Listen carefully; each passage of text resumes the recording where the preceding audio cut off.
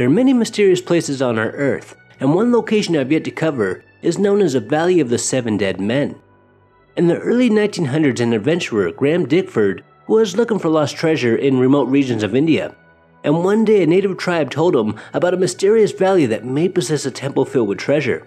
So Graham decided to go check it out. Now, we would never know what really happened to him or his friends, but when he returned, he was not the same person. He was very sick and delirious, and he wasn't making any sense. So the authorities took him to the hospital. He was so terrified about what he had witnessed, he was freaking everybody out. He spoke of shadows and fire and that he had seen all of his friends die. And shortly after arriving to the hospital, he also died. Now, Graham had burn marks all over his body, and he stated before he died that while in this valley he lit a match and the whole valley went up in flames. Now, I don't know why it took the Indian government so long, but a couple years after Graham's death, they finally decided to go investigate what had happened to him and his friends. The government sent a group of scientists to this location, and two of them died mysteriously. They were just walking, then all of a sudden, they just fell to the ground and died. These scientists also stated that when they lit a match, there would be a terrifying roaring sound, then flames would shoot from one end of the valley to the other. And at times, these scientists would just get really dizzy, so they'd have to stop to rest.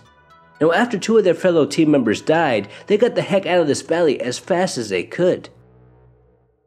There was also another investigation in 1911, and out of the seven scientists sent, only two made it back.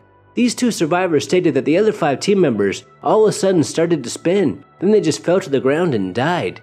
And the other two scientists were freaking out, and just like the last group, they got the heck out of this valley as fast as they could.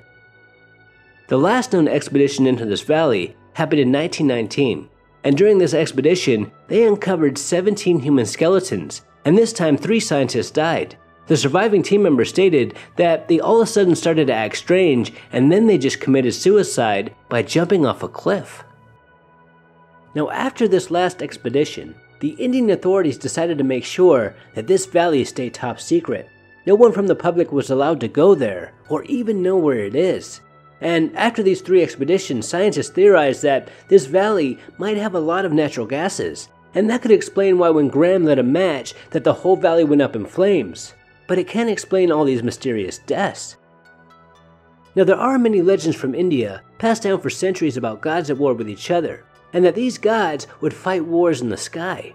And today paranormal investigators believe that there might be truth to these ancient stories, but they weren't gods, they were aliens and maybe this valley is where one of these wars was fought, and the reason for all these deaths might be because of the alien technology that was once used here many, many years ago.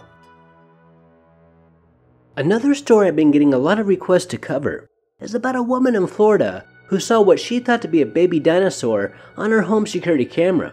And this was even talked about on Coast to Coast AM.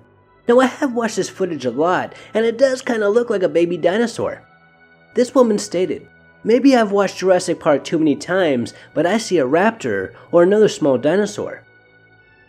Now, if this footage was taken in Australia, it'd probably get a lot more attention, as there are eyewitnesses who claim that they had seen a dinosaur while hiking in remote regions in the outback. And I have covered this, but I've yet to hear of any dinosaur sightings in Florida.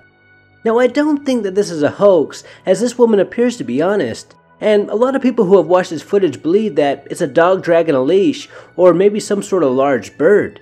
And I'm curious to know, what do you guys think this is?